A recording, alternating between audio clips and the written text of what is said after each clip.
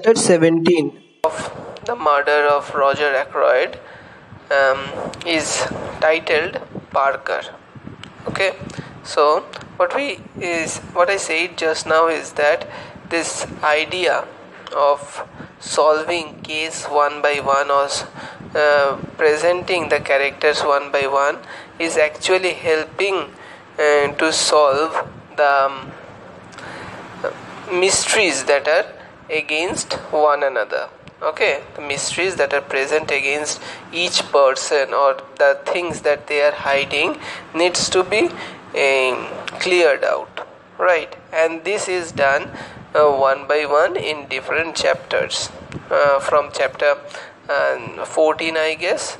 From chapter 14 is titled mrs ackroyd where she uh, reveals the secrets uh, following that it is Geoffrey Raymond and in chapter 16 what we find out we found out uh, we find, find we find the secret of the ring which uh, which was only between um, Poirot and Dr. Sheppard okay so after winning the game of mahjong she uh, spills out Sheppard spills out uh, what he has known.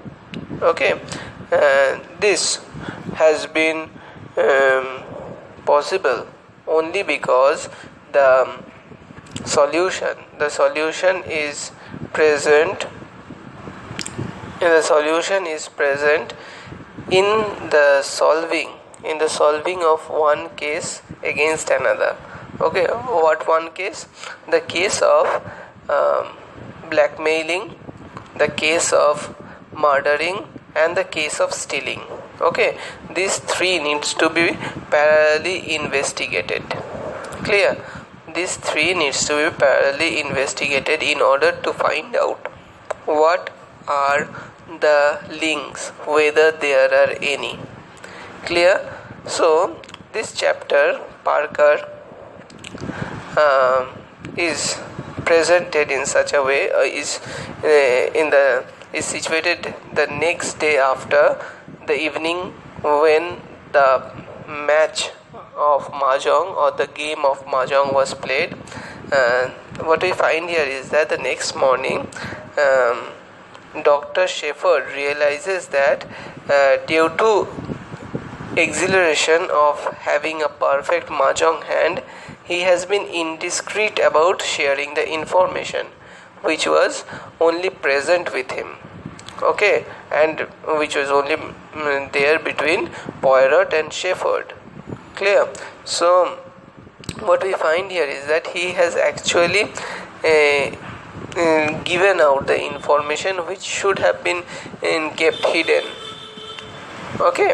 Uh, as uh, Poirot himself has not told that right so what we see here is that uh, this person has given the information and um,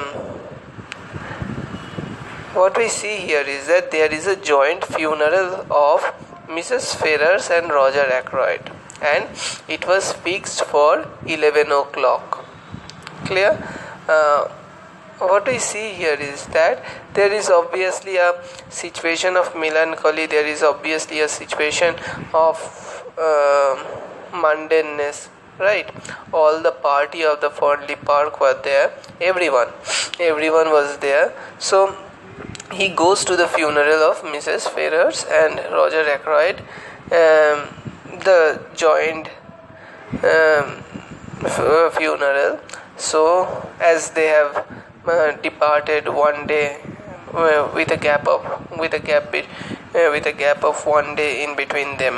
Okay so what we find here is that um, he is afraid that Poirot will reproach him for spreading the information. Okay what information?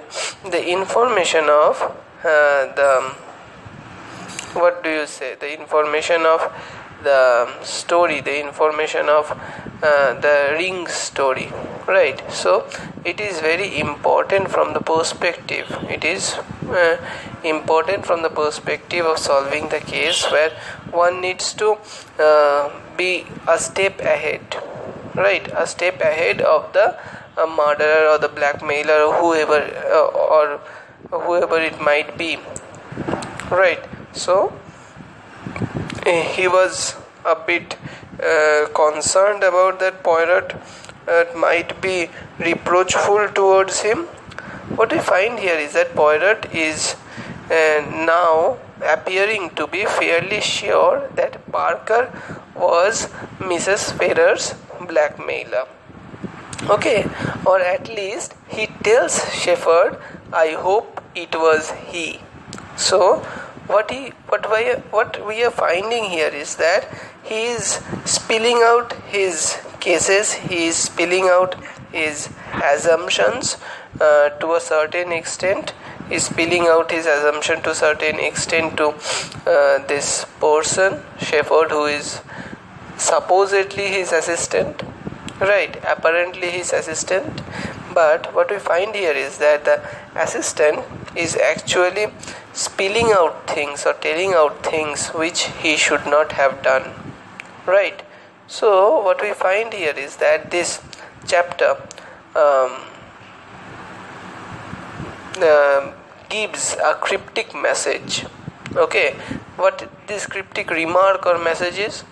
That he suggests that um, the blackmailer could be another person okay so he suggests that he has another theory for who the blackmailer is or who the blackmailer could possibly be and is worried that this second theory might turn out to be true.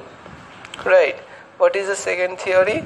The fact it is that he feels um, invested in someone not being guilty is an early indication that he might already be considering his friend um, Sheppard with suspicion. Okay, because what we find here is that he says, um, the what witnesses are you talking about? Parker said Poirot. I asked him to be at my house this morning at 12 o'clock. He should await us there at this very minute. What do you think? I ventured glancing sideways at his face. I know this. So, what we are finding here is that we are finding that um, the investigation that was going on was uh, through was throughout the was thoroughly being made by Poirot himself alone. Okay, as we have seen in the previous chapter, he has has said he has said that he will uh, go he will go and or caroline has seen him going to the nearest town in order to find out uh, whether um, ralph is there or not. Right. So what we find here is that this description this description is mainly focusing uh, focusing on the solving of the case that he has actually been doing without the knowledge of Sheppard. And slowly we find that Sheppard is also being suspected. Hmm, but before that, uh, what we come to know, we come to know that uh, Poirot has invited. Uh, has asked Parker to meet him. Okay, so at Fernly Park, Poirot and Dr. Sheppard uh, greet uh, Parker. Uh, Poirot asks Parker if he has ever blackmailed someone. Um, Parker becomes very offended by that. Okay, so he says that uh, allow me, sir, said Parker and sprang towards to assist him. So, whatever he says, uh, I understood, sir, that you wished to ask me few questions about my late master. Okay, I am not going into the detail. Uh, uh, he says, Don't play the parts of the honest, injured man. You know all there is to know about the blackmail. Is it not so? That is, what I said just now that he is actually showing a, a sense of a possibility there was actually there was a possibility of showing um, and the possibility of showing that Poirot was actually uh, trying to find out who the blackmailer was. Okay, so what we find here is that this person is actually uh, present in all the uh, situations. Okay, this person was actually present in all the situations, right? And so the suspicion obviously goes towards him. So he is being asked whether he has ever blackmailed someone or not. So he says, Sir, I I have never been never insulted, suggested Poirot, in such a way before. Then why, my excellent Parker, were you so anxious to overhear the conversation in Mr. Ackroyd's study the other evening after you had caught the word blackmail? I wasn't I. Who was your last master? rapped out Poirot suddenly. My last master? Yes, the master you were with before you came to Mr. Ackroyd. So, what we find here is that this person uh, is being interrogated, and what we find here is that Ralph, I uh, sorry, um, Poirot is being investigated over here and he is offended by the investigation. Poirot demands to know who's Parker's who is who was Parker's last master, right? Um, and uh, Parker says uh, uh, the name Major Ellerby, E L L E R B Y.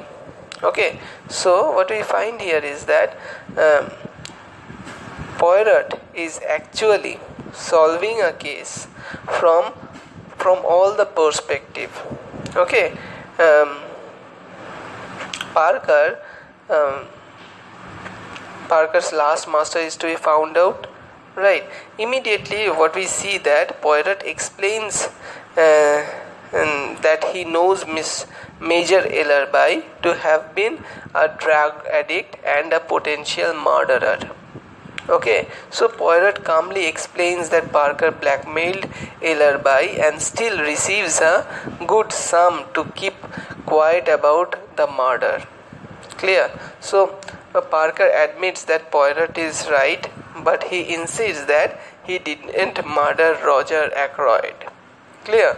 So what we find here is that uh, Ellerby is a drug addict, his previous master, and what we find or what we come to know about this person, what we come to know about this um, boy, uh, this person called uh, Parker is that he has been blackmailing his previous master, right?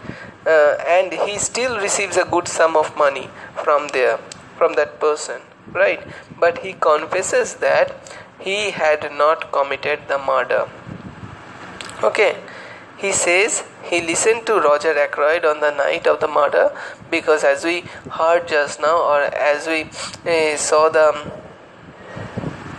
uh, conversation or the interrogation, that um, Poirot has accused him of listening about the blackmail. Okay, he was eavesdropping, right? he was eavesdropping when he heard the word blackmail. Clear? So, what we find here is that uh, he says now Poirot, co- no, sorry, uh, Parker confesses that Poirot's accusation is right, that uh, he has li- he was listening um, to Ackroyd on the night of the murder, and after listening, um, Parker thought um, that he could get a share of the package by blackmailing Roger. Okay, so he has this uh, kind of tendency of getting money from that way by that by these uh, means right this means means by blackmailing mm, persons okay poirot asks to see parker's finances and parker uh, thoroughly obliges. He shows poirot that he has invested money much of it from blackmailing major ellerby uh, in national saving certificates and all.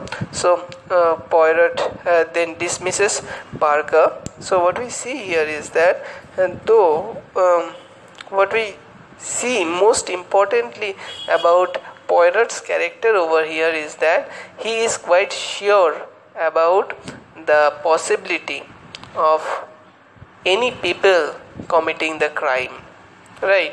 And he has rightly said before that uh, every one of them has been hiding something. Clear? So poirot um, though claims to uh, know all about major ellerby uh, but what we find here is that there is no explanation of how he has exactly come to know about everything okay um, maybe he has done some private investigation on his own course which is not described because the narrator in this story is uh, Dr. Sheppard, right? And he has not been accompanying him, or he was not not asked to be accompanied, accompanying Poirot, right? So uh, he knows uh, uh, that he knows this is offered. Maybe Poirot knows him from previous cases right or maybe he has been investigating this matter without sheppard knowledge right anything could be possible because we have seen for a lump sum amount of time and this person poirot was absent uh, uh, in direct investigation from direct investigation where sheppard was doing his bits to find out certain things right? So um, what we see here is that um, Parker insists, um, and we also see that Poirot also believes him that he has blackmailed others, um, but he has not uh, done so in case of Roger or not even and Mrs. Ferrars. Okay, so uh, then what we find here is that not Mrs. Ferrars was also uh, not the real target right so what we find here is that uh, this thing this situation suggests that uh, parker is either completely lying because we cannot trust everything that has been said about himself right we are we should not be so naive right this can be a um, complete lie um, or what uh, we can say is that he does not really know what's going on between uh, Roger and Mrs. Ferrars. Okay, uh, maybe he is um, probably uh, innocent of the murder, but what we see here is that uh, Poirot isn't interested as the police might be in judging or persecuting Parker's other crimes. Right? Uh, he could have been taken away by the police, but he is much more focused. He is only focused in solving the things which are exactly related to Roger's death, right? Like the murder, for uh, to be the precise thing, then the stealing of the money, and obviously the blackmailing. Clear? so what we find here is that when um, this person uh, Poirot is alone he tells Dr. Sheppard that he believes Parker so uh, Parker wasn't the killer right and he, he sincerely thought that Roger Ackroyd not Mrs. Ferrars was the blackmail victim clear so what we find here is that the missing link between uh, Mrs. Ferrars and Roger Ackroyd is that is known by Dr. Sheppard and is told later on that uh, they were supposed to get married and everything. So what we see here is that uh, Dr. Sheppard nods to everything and also admits uh, to Poirot that he told his sister and guess about the ring in the goldfish pond. Okay, and what we find here is that throughout this chapter, at the beginning of the chapter, Dr. Sheppard was a bit guilty about everything that he has spoken. Right, so Poirot laughs and says that Sheppard can do whatever he wants. Okay, he has the liberty to say. Uh, Sheppard uh, can speak about it.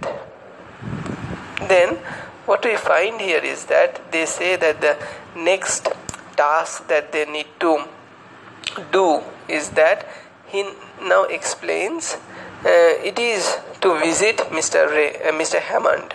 Okay, so um, what we were thinking, uh, what we were com- continuously thinking might be that this gold ring is actually very very important, right? Uh, the R letter is very very important or in some way um, related to the case. But Poirot seems to be not caring about it. That Sheppard has revealed this sensitive information about the gold ring in the pond, and this possibly suggesting that Poirot hasn't shared any truly crucial information with Sheppard. Okay, he has not it might be a possibility that he has not truly um, shared any crucial information it might be have been a bluff okay this might be a bluff in order to take uh, Shepherd into confidence okay that might be a possibility clear um, following that what we see that um, যেটা বলছে যেটা বলছিলাম সেটা কি actually তুই যদি কাউকে ভরসা করে হচ্ছে কাউকে একটা ব্যাগ রাখতে দিস ঠিক আছে বা কাউকে একটা, তোর ব্যাগে হচ্ছে ইম্পর্টেন্ট কিচ্ছু নেই, কিন্তু তবুও হচ্ছে বললে ব্যাগে অনেক কিছু ইম্পর্টেন্ট রয়েছে, সে ব্যাগটা তাকে রাখতে দিলি। ঠিক আছে? সে ব্যাগটা রাখতে দিয়ে হচ্ছে কি? তাকে বললি যে এটা সাবধানে রাখিস। তাহলে সে কি ফিল করবে? সে ফিল করবে যে সে হচ্ছে ইম্পর্টেন্ট ঠিক আছে? So that is what I think Poirot was doing was actually trying to gain the confidence of Dr. Sheppard. Clear? So, Dr. Sheppard and Poirot, uh, following that thing, uh, visits uh, Mr. Hammond in order to inquire about Mrs. Ferrars. Okay, Sheppard um, speaks about the conversation with Roger Ackroyd that had happened on Friday, and Hammond is unsurprised uh, uh, to hear that Mrs. Ferrars was being blackmailed. Okay, because what we find here is that he had uh, he says that he had suspected um, this much a while ago because um, Mrs. Ferrars um, was losing money okay uh, she was uh, her money was going away and what we find here is that after Hammond leaves Poirot tells Sheppard he is sure of Parker's innocence. Clear? So what we see here is that he says that there is no way he could have continued on as a butler if he had uh, got so much money from Mrs. Ferrars okay? He might uh, be uh, unaware of the information or any information which could be used to uh, blackmail this person mrs ferrars okay um, this is this presentation this is the presentation of the story where we get to know or Poirot uh, is raising the possibility that Roger threw the letter in the fire uh, after the reading the letter. Okay, there might be a possibility because the information was there, a secret information about the murderer.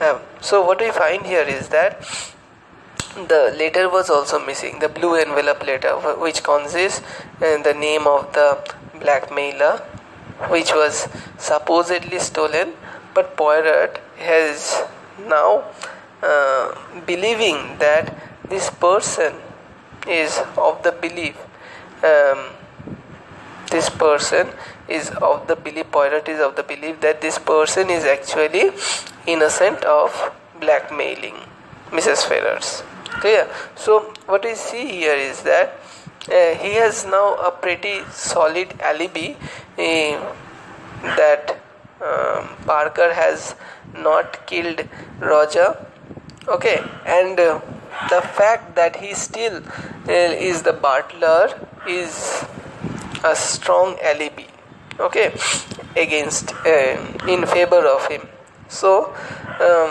what we see here is that no butler who had been so successful at blackmailing someone as rich as Mrs. Ferrars um, would continue to be a butler for very long. Right, as he has left the previous job after blackmailing, he would have left this job also. Right, so um, what I see here is that Poirot um, also focus that the absence of the letter um, does not all uh, always mean that and the killer necessarily it took it or the or it does not actually mean that uh, killer knew about the blackmail or the blackmailer is a killer because it might be possible uh, that he might have that is uh, roger might have destroyed the letter. Clear? So um, what we find here is that there is this huge possibility that has been opened up. Clear so following that what we see that dr sheppard invites poirot to his home uh, there caroline uh, as is as her usual self asks poirot if he has found ralph Paton in crankster poirot is surprised uh, for a moment uh, after hearing the name Kang- crankster but then explains that he only visited Crankster to see a dentist. Okay, so Caroline goes on to uh, tell Poirot very excitedly that uh, she believes Flora to have killed Roger Ackroyd, um, and uh, what we see that um, she says that Parker never heard Roger say a good night, whereas Flora has had said good night. So by that time there might be a possibility that um, Roger was already murdered. So, it he she is suggesting that Flora had killed him and then told Parker not to enter the study. Right. Um, what we see here is that um, Flora is becoming a suspect in Caroline's theory okay um, speaking almost to himself. Uh, what we see that poirot uh, speaks to himself almost and uh, says that let us take a man a very ordinary man. So what we see here is that he is um, presenting he is presenting is he is presenting this uh, story where he tries to show uh, that this person uh, is actually close to um, the murdered person, that is Roger, and Poirot explains that uh, this man is not a killer but he has a trace of weakness in him, and out of that, he might have killed that person.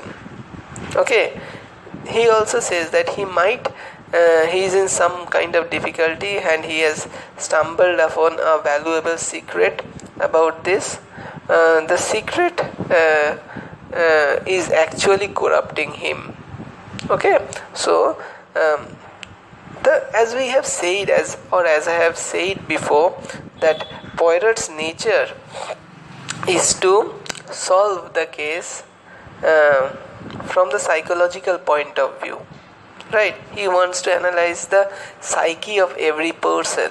So that's that example is being presented over here where he says that uh, this person who is murdering or who is blackmailing um, is actually uh, might have actually might have stumbled upon some information which have uh, which has the possibility of gaining him a huge amount of money.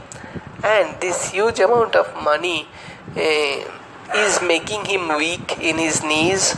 And uh, he is doing this crime out of that weakness. Clear? So um, what we say here is that he is actually eventually facing the exposure of his sins, desperate to maintain his reputation. Uh, he lashes out the dagger and strikes, and the murder was uh, actually to save his reputation. Clear. So Caroline says you were say, uh, speaking of Ralph Paton, right? So, um, what we find here is that, or what we guess here is that Sheppard uh, sorry Poirot is actually come to know about what has happened or who the murderer was is actually guessed by Poirot. So he knows about the surroundings or what has happened, but he is not mentioning the name. Okay, so uh, this reputation, a person of reputation, might have come to know of some information, and because of the weakness, uh, he is committing the crime. Right. So, what we see here is that. Um, what we see here is that he is not mentioning any name, right? Um, but uh, what we see here is that um, Poirot is not criticizing that person. Okay, in retrospect, if we find or try to find all the uh, or try to assemble all the points, um, this is one point of the first. This is one of the points in the uh, novel where uh, we see that Poirot is shown to believe that Dr. Sheppard is a murderer. Okay, because um, if we see the first chapter or the first two chapters in the description of the whole village one of the most reputed person is dr sheppard. Okay? He has been the most trusted person in this whole village. He if he says that any investigation is needed in that in any case only then the um, police will investigate the case. Right. So he has this serious power uh, that is within him. But what we see here is that Poirot is uh, actually believing Sheppard. But what we see here is that he shows signs of distrust for Sheppard uh, before. But now he fully indicates he has been considering whether Sheppard is capable of killing a, a person or anyone. For a casual reader, it would be very difficult to understand or try very difficult to find out whether uh, he has uh, done the murder or not. But um, in retrospect, when we analyze the situation, we will see that he is actually um, hinting or actually considering Dr. Sheppard to be uh, can be there might be a possibility that he is the murderer. Okay, so um, by when he says that an ordinary yet weak man, when he says that an ordinary yet weak man, he is actually speak might be actually speaking of Sheppard because he is not actually taking a name okay so in order to save his reputation he is doing all these things. And he is actually uh, trying to recover from the financial difficulties that he might have. So we know that everyone in this story has some financial difficulties. Even Dr. Sheppard has one. He has mentioned in one bit, okay, in one place, actually, two places, right? So, for a casual reader who is not paying any attention, uh, it might be difficult for him to uh, find out, but it is so. He has say he had said that he had made bad investments. Okay, so uh, he had mentioned it twice. So uh, it might be a possibility that he had uh, committed the crime. What we see here is that just then, um, when all this thing is being said, that a man unheard, that is, he says that, Poirot says that a man unheard means a person who is not generally considered to be the killer. So just then we see that the a phone rings and Dr. Sheppard answer it. The police um, actually has detained a person, detained a man named Cl- Charles Kent in Liverpool. Okay, he is believed to be the stranger who was at uh, the Ackroyd house on the night of the murder. Okay, so we are now coming to a solution of the stranger who um, Dr. Sheppard has made clear. So, what we see here is that the story was moving towards solution. The story was moving towards a critical situation the critical position where suddenly another information bursts out. There it was going towards a solution or going towards uh, to state the name of the person. But what we see here is that suddenly another information bursts out about the stranger uh, who was still at the, uh, till this very point was unable uh, to be named. He was not known to anyone but now he it is supposed to be charles kent uh, uh, a person uh, in Liverpool who was found near the house of Roger Ackroyd on the night of the murder. So, this uh, chapter ends on something of a cliffhanger, it holds you. Now that the stranger has been apprehended, and uh, what we see here is that there is a new insight, new theory okay or a new complication that has arisen okay for the case it needs to be solved so what we find here is that at one point a thing a person is being solved a person is being, being removed from the suspect list but another person who was uh, present there uh, who was a mystery to everyone uh, the stranger is being now caught hold of and could be investigated. So it is moving it is moving in a pace towards solving the case but it is also uh, bringing out the missing links okay? The mysteries uh, in front of you. Clear? So uh, this is it chapter 18 ends over here. Um, i hope you have all understood.